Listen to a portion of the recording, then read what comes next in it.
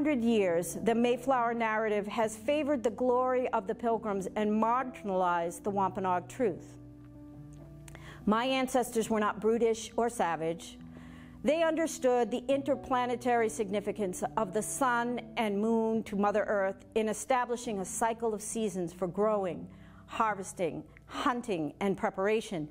They were people who managed their presence on Earth to be in balance with nature. We knew, as soon as we were started to consider the notion of the importance of Mayflower, that if it was going to, our event was going to have integrity and authenticity, then it had to speak of the whole uh, range of historic narrative that's associated with that story. We're not going to try and tell the Native American story, the Wampanoag story, because it's not our story to tell. We don't have people in our company from that background, but we have experiences that are similar and can connect to it in a 2020, 2021, uh, and want to bring that conversation to this city. When uh, people make a, a, a voyage like this or a decision like this to go off and explore, you know, there's so many problematic things about how history is remembered um, and, and what we tell in history. For the settlers on the Mayflower who felt they were sailing to a new world, it was a, a, world that had been inhabited for many thousands of years by indigenous peoples who were greatly impacted by the arrival of the Mayflower and subsequent ships that followed. And we wanted to, to challenge that idea and to uncover perhaps previously overlooked stories of the Mayflower sailing, but also to remind people that we only have this world and we need to look after it. I wonder what the people on that boat, the Mayflower and the Speedwell, if they had have known the process that ensued as a result of those pivotal voyages, would they have gone? You can't blame the people today. We want people to understand and respect true history. That's important for us. Acknowledge it, know it.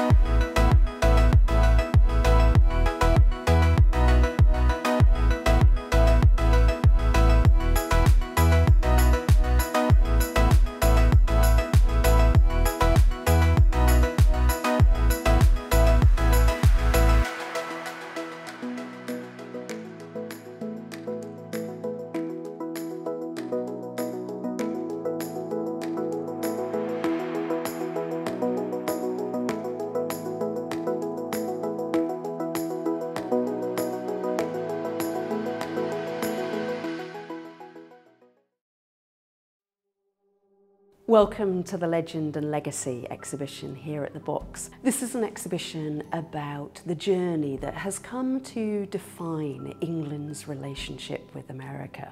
So we've brought together objects from museums, libraries and archives across the UK, the US, the Netherlands and objects from Native America as well. 400 years ago, the people of the Mayflower were already at sea 102 people, men, women and children, all packed together in what was a long way from being a passenger ship. It was a cargo ship. So just imagine all of those different age groups together and they're people of different backgrounds, different birthplaces and quite possibly different beliefs as well. Behind me is a new wampum belt made in 2019 by over 100 Wampanoag people of different ages, different abilities and all with a compulsion to create and to share something so important in their culture. Historically, wampum was used in several different forms as adornment for beautiful objects to wear in the ears and around the neck and around the perimeters of the body. Wampum was used in the form of disc beads as decorative pieces, adornment pieces, but in the form of tubular beads, that's when wampum really reached a very unique form of being able to signal understandings. For hundreds of years, wampum has been central to Wampanoag culture, and the shells, in fact, that the beads are made from are indigenous to the Wampanoag nation itself. So we're so pleased to be able to show it here, and it's here in England now as a result of an extraordinary partnership. 400 years ago, England took its culture to America. 400 years on, the Wampanoag people are bringing their culture to us here in England. We're here in the Pilgrims Gallery at Bassetlaw Museum, and behind me we have a map of the Greater Retford area, which saw the rise of the Mayflower Pilgrims and was a real hotbed of religious nonconformity in the 17th century. It spreads from here in Retford to South Yorkshire and also over into Lincolnshire as well. And uh, in this area, we saw the rise of a lot of really key pilgrim people. So, William Bradford, William Brewster, and um, John Robinson and John Smith as well, who really influenced these nonconformist separatists to go on and become pilgrims. Brewster is a really key figure. We have our reimagined space that would have been perhaps in Scrooby Manor, so that's our Brewster study. And we have an excellent local actor portraying him in a mirror where he appears and tells four stories from his life. So the interactives are really based on his point of view as a, a pilgrim elder. Christopher Jones, very important man for Harwich. Uh, he was born here. He was born in this house where we're standing now. The house itself was built round about 1550, although we don't know, we've not been able to find the plans of it, but we do know that it was built here round about 1550 and that Christopher Jones was born here and he lived here. It's always had a little plaque outside saying it was Christopher Jones' house, captain of the Mayflower. The house was restored by uh, the owner, Mr. Stephen Dixon, who used to live here. Uh, he now lives in the property behind and uh, he over many years, painstakingly, he peeled away the layers uh, in, in the up, particularly in the upstairs uh, rooms. He, he, did, he did really a very good job. And uh, with Mayflower 400 being in the offing, uh, District Council uh, have been so supportive of Mayflower 400. And they made him an, an, an offer that uh, uh, he would, they would rent the house uh, for the time being. Hopefully, uh, for the future, perhaps uh, we'll be able to retain it as a, if you like, as a living museum and, and as, a, as, as a reminder of Christopher Jones and his importance in, in the Mayflower story.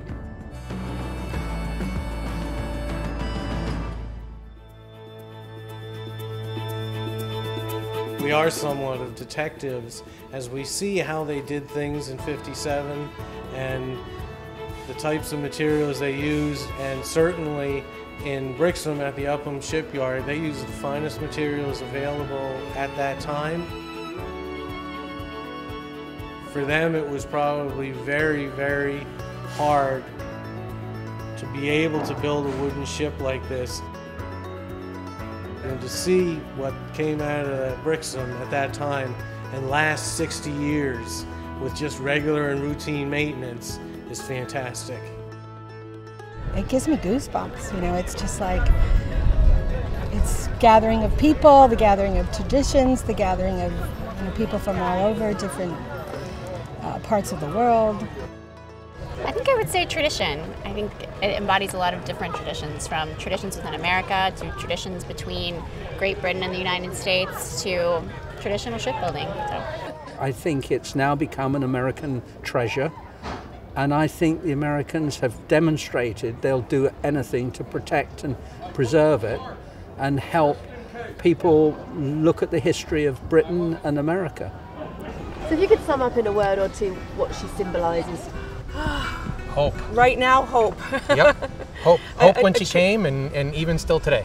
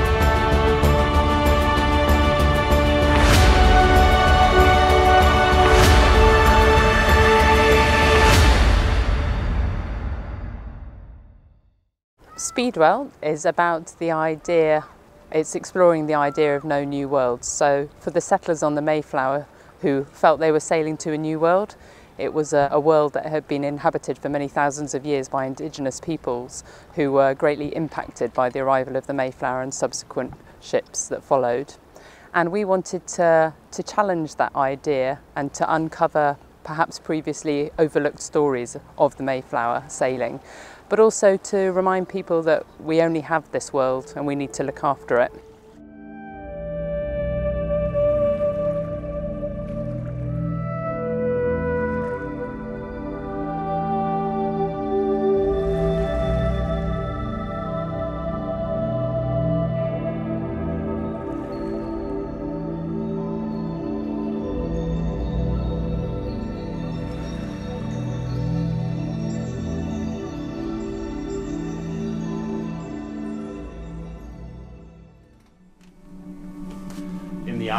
European, the expectation is that we arrive with buckskins and feathers. The expectation is that we are somehow outside of our present time. And I thought it would be important to make, make a settlement in the UK bringing hyper contemporary, very present indigenous people from so many different nations to develop this idea of complexity so that we're not one dimensional, so that we can celebrate our arts and our sciences and not be reduced to, you know, a brave or warrior in the context of the beauty that is our vast and varied cultures. That was a big part of of what I thought settlement could potentially be was a, was an opportunity and an exchange of intersectionality rather than a voyeuristic experience of look at the Indians. And so by participating in this, this act of colonization, we're actually following their models, but we're embedding our um, indigenous cosmologies within that,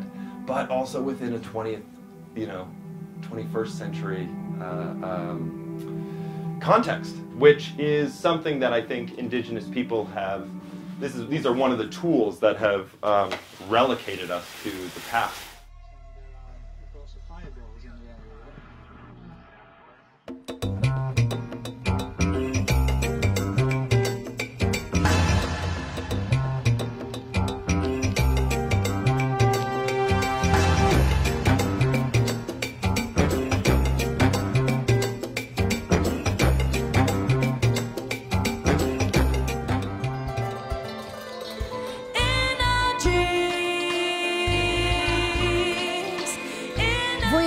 Of the Heart brings together musicians from every corner of Southampton and every corner of the globe. For centuries and centuries, people have been coming to Southampton and leaving Southampton in search of a new life. So the sailing of that ship was one of thousands of ships which left Southampton, and we really wanted to mark all those journeys and all those people who'd been impacted by those journeys. So it was a real opportunity to look at all the different communities of Southampton who have come here seeking migration or refuge or our asylum seekers and really celebrate the fantastic city. From opera to reggae, kora to harp, the patchwork of performers unite to tell some challenging, sometimes harrowing stories of migration. We were living under shadows of death and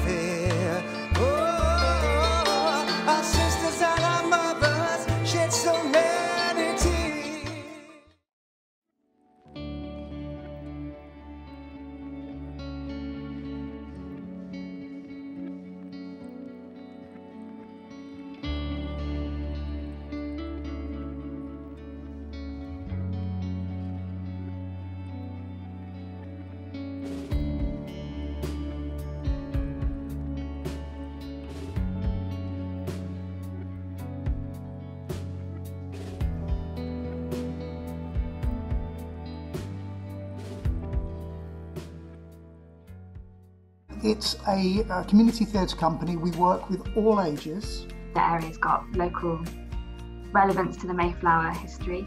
The master of the ships, Christopher Jones, was born in Rotherhithe, and quite a lot of the crew came from Rotherhithe. probably late 2017, somebody in Southwark mentioned it was going to be the 400th anniversary. And I knew little about the Mayflower. And my response was, I don't think many people know this story at all. And they're asking for community participation. So maybe we should just find out about it. The Bubble has a history of exploring subjects and making pieces of theatre. We call it vernacular theatre. So I suggested a process of research, community research, creative workshops, and then working material up into forms of sharing. Can't quite remember how long I've been involved, but I got involved um, in the measuring. So there was a event um, in the park near the Bubble Theatre, and I was looking for something community based to do. And I suppose my interest was piqued because I didn't even know the Mayflower had gone from Rotherhithe. Um, and I had lived in America for about six years, so I had been to a couple of Thanksgivings and sort of anti-Thanksgivings type things, and um, I'd never really considered the passengers. I hope that people that have been involved in the project, like directly, take away um, a sense of play and exploration and curiosity, that expanded sense of self that comes from seeing bits of yourself in someone else, whether that's someone that lived 400 years ago, someone that has tried to cross um, the Mediterranean Sea, or somebody that's sitting across from you in the room. I hope the legacy has been just creating a space for people to really talk about and be truthful and brave in looking at um, looking at the past and today. I hope in in uh, in 50 years' time um, we won't have to make that much of a fuss about it. I hope it is something that will be known of, and the the, the, the various strands of it will be known far better than they are at the moment. Um, and I hope it will be a, a, a possibility to just reinforce and to reconnect.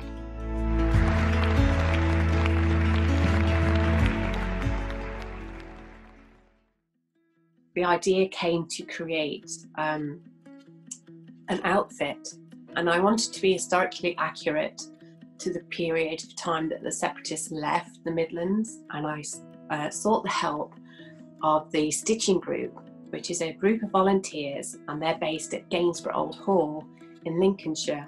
And the ladies, they they recreate um, costumes from the medieval and Tudor period and they're very true to the methods that they use. But they needed somebody to uh, to be a mannequin, and they said, you know, well, it's your project. Why not you be the model? And that was the first time that it was kind of suggested that it was me that was going to become the Pilgrim Woman. As the dress fittings went on, it, I was slowly transformed into the Pilgrim Woman.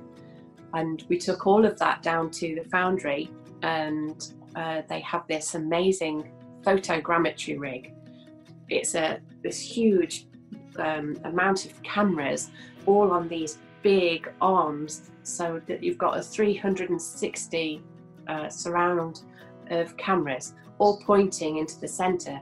And I was dressed in the Pilgrim Woman outfit, held a pose, and all of these 160 cameras all flashed all at the same time and recorded that snapshot of, of time, which was me as the Pilgrim Woman. So from there, that image was then used to create a digital file, and at that time, then a few different places um, expressed an interest in having a sculpture to represent the women's story. One of those was Gainsborough, and the other one was Doncaster. And so, for the Doncaster version, we used the woven panels from the 50 Women project, and that's um, an above life size version. She's due to be installed at the end of this year. And then the second version um, has a plain dress and is sitting by the waterfront. And just this week, we've installed her, uh, and she's looking fantastic.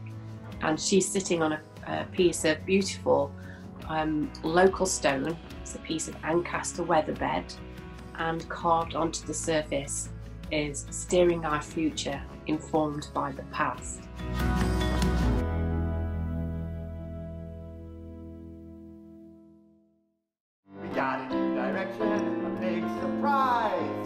Right back and watch us improvise. We are Theatre Company Le Navet Bête. Uh, where we are based in Exeter, in Devon, and we've worked all over across the region, the southwest, and further afield up and down the country over about 15 years. And our work specialises in clowning, physical comedy, uh, stupidity at its heart, and really engaging entertaining material for audiences of all ages to enjoy. Time check. Five seconds. Five, four, three, two, one. The question about migration, humanity, and freedom has been a really interesting topic for us to touch on, and even more so in the political climate of the last five or six years or so within the UK and the wider world, really. And having that message, I think, is more relevant now than, than perhaps ever before. And it's not something we would have ever perhaps touched on beforehand, but we feel now is the right time to get this message involved in our style of physical comedy, where you can have silliness and play and ridiculous things happening on stage, and at the same time underlie it with a very serious and very important message that we believe. And it's been a real great joy to actually put this show together, and we hope that people enjoy it. I'm Robert Taub, Director of Music for the Arts Institute at the University of Plymouth. For Mayflower 400 commemorations, I decided to build a new music drama that asks the central question, what can we learn from the events of 1620? What can we learn from their adventures that affects us today? What I've done is to take a number of critical events, the sort of quotes from the deciders of destiny from 1620 to the present, and made these quotes into a kind of opera. Each scene is motivated by one of these famous quotes.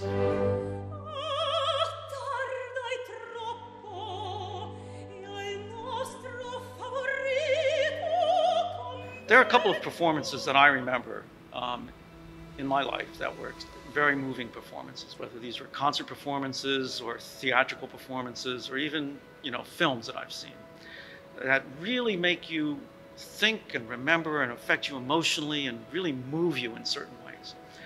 I'm hoping that the performances of Some Call It Home have that effect. And I hope that we actually take thinking about our home in a serious way.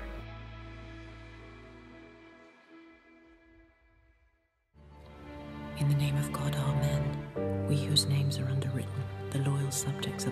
sovereign Lord, King James, by the grace of God of Great Britain, France, and Ireland, King, defender of the faith. The story that we wanted to tell was to take people, you know, f- from the roots of the story in in kind of Lincolnshire, Nottinghamshire, kind of Gainsborough, of of actually what people were feeling at the time and why they started to to kind of make plans for a different life for themselves. And we do start at that point, pre 1620, really, at the, at the turn of the 17th century, we begin um, to start telling a little bit of the background. Um, and then from there, we kind of follow a little bit of emotionally what people were going through as they were on the ship. You are sitting on a boat. The boat is small and cramped.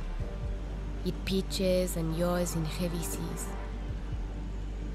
You don't know how long is left on the journey, or if you will even make it.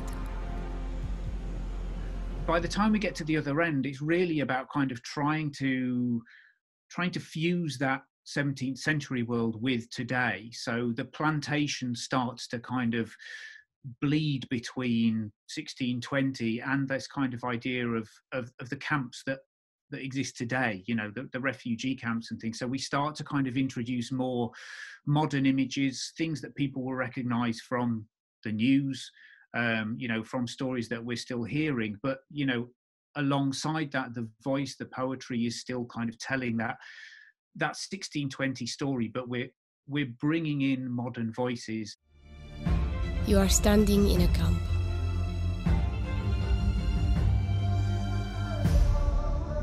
Where from here?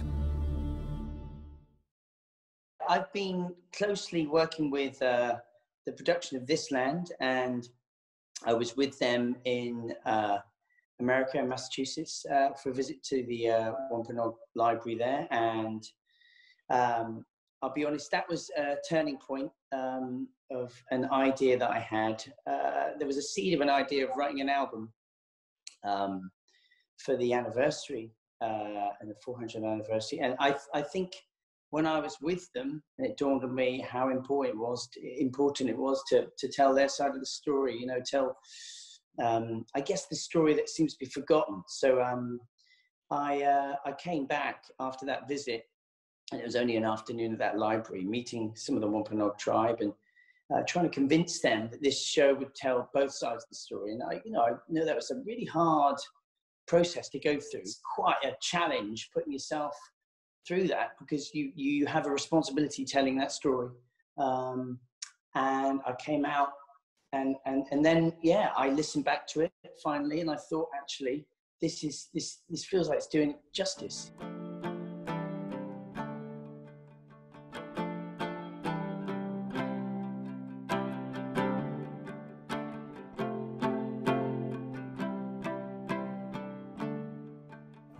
Watch out, my love, watch out.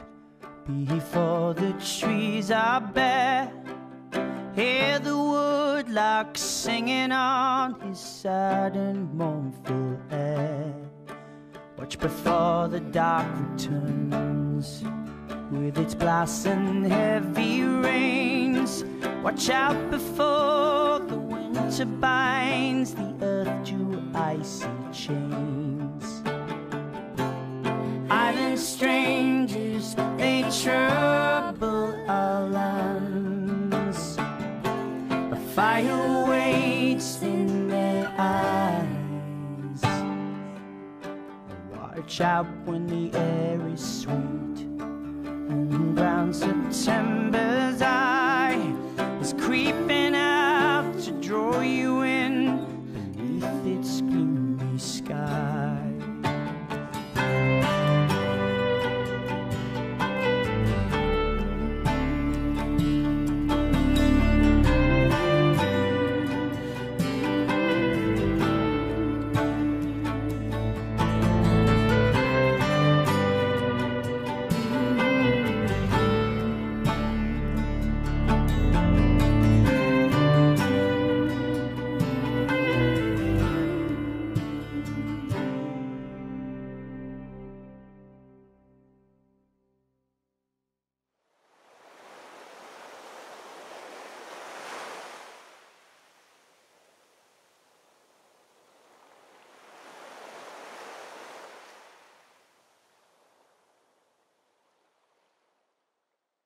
there is uh, a a moment that we're living in right now where we have to recognize that that there are diverse groups and populations within our world that that need to be protected. And so that that's the other reason why we we have been using that. And and certainly over the past couple of months now um, we've we've seen a heightened awareness in um, the world to to the needs of some of our minority populations and how they're viewed. And so we look at the work that, that we're doing now to get the history correct. And while yes, this happened 400 years ago, we've constantly seen it as vitally important to understand where we've come from, to understand why certain groups and populations continue to struggle today. And until we as a, as a, as a world can, can look back and say, yeah, this happened to the African Americans, this happened to the Native Americans, this happened to uh, you know South Americans, um, and, and, and it, it has perpetuated itself over the past 400 years in different ways, but it's always been there. And so, if we can tell our history accurately, I think then people can become a little bit more compassionate in their way of of approaching some of these touchy subjects around race and relations. First Thanksgiving of the Pilgrims as their holiday, and it was uh, it's a complete farce because It had nothing to do with uh, celebrating the, the unity of uh, the Indian people and the pilgrims. And it was the beginning of all things to come. And so we have nothing to celebrate. As a first grader, when the Thanksgiving story became the focus of our, our teachings at school, I remember the teacher talking about the pilgrims coming to Plymouth and how friendly Indians taught them how to live, how to plant, how to uh, fish in the in the area, and then she said they had this great uh, Thanksgiving feast together, and unfortunately, after that, all of the Indians died of a horrible plague. And I must have been waving my hand madly, and I told her that it's not true. They're not all gone because I am a Wampanoag. And she smiled and she just said, Well, of course you are.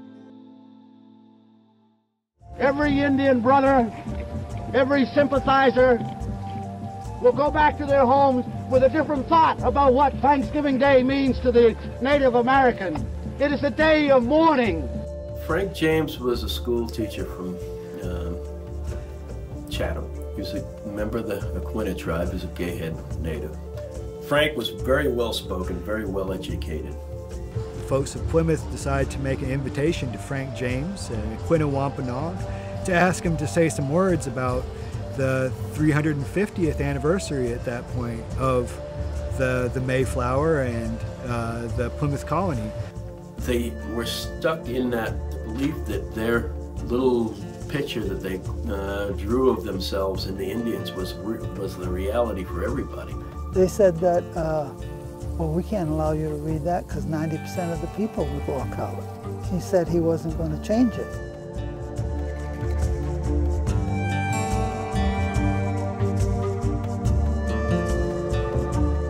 We decided that we would declare it a national day of mourning uh, for Native people.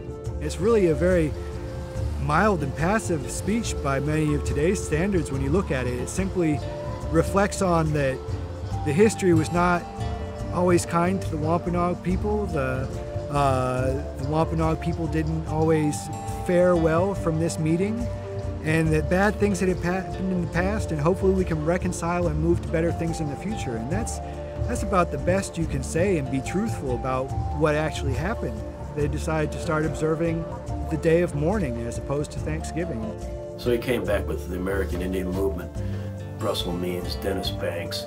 They ran the AIM flag up on the Mayflower. Everything was a huge, just a sea of people. You know, up by the statue of Massasoit, you know, climbing the statue. And, and I remember when they climbed the Mayflower, the masts of the Mayflower, and when good old Captain Jones took a header over the side. And, you know, it just made us aware of what it meant to be Native and what our history means and what happened to us in history and how we should be responding to that.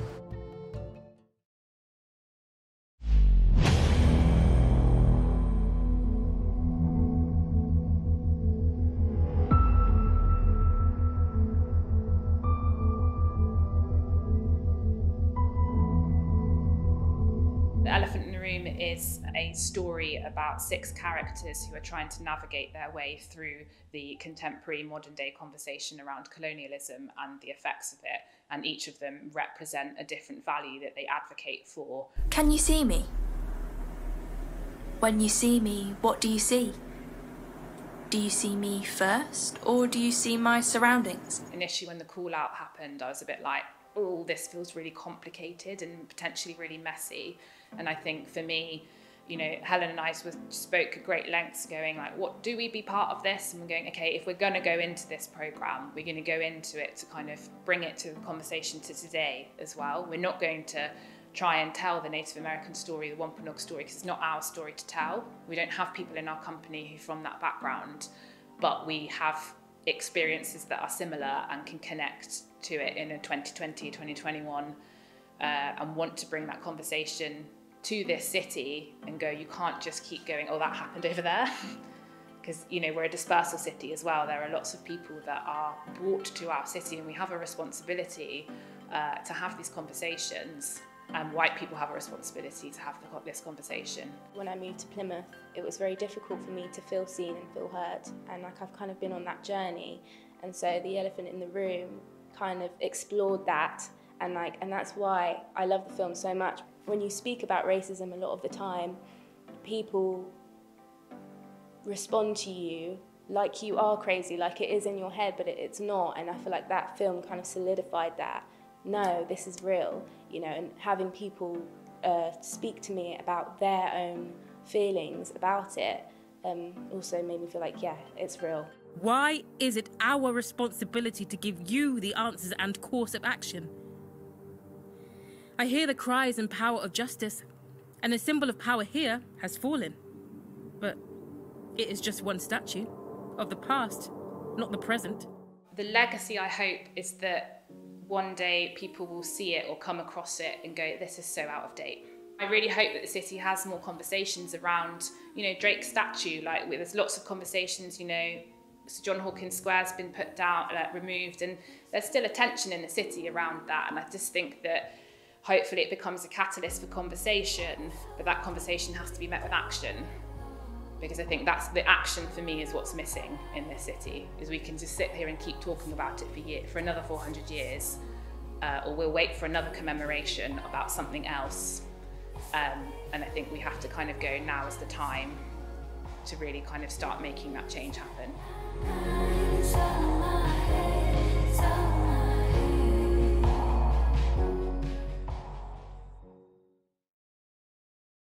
Dear Mayflower passengers, 400 years ago, you set sail from these shores, not knowing then that this day would be marked for centuries. Nor did you know how your journey and settlement in what was, for you, a new world, would impact on both the near and the very distant future. You could not know then that the actions you took to flee persecution and economic hardship would in part set off a chain of events that would profit many, but at a great price to countless others. Hindsight is a fantastic gift, but it does not allow us to change the past. By looking back at your story and its consequences, we hope to shape a better and more understanding future from now on. The story of the Mayflower will be told in this city, not just from the perspective of those waiting you off, but also from those witnessing your arrival from what is now the Massachusetts shore. Act with kindness, compassion, and wisdom in your new world. And we shall work to do the same in Southampton. Today, there are as many as 5,000 Wampanoag who are part of two federally acknowledged tribes and several small bands living in the Commonwealth of Massachusetts. We are both contemporary and cultural, and many of us continue to practice our traditions in the ways of our ancestors. Today, I am grateful for this opportunity to take my people's story out of the margins and onto this international platform to be fairly consumed to stand with Mayflower 400 as a partner in representing this story and allow all of you to decide how to feel about it. To tell you that I do not hold you accountable for the actions of your ancestors, I hold you responsible for the future.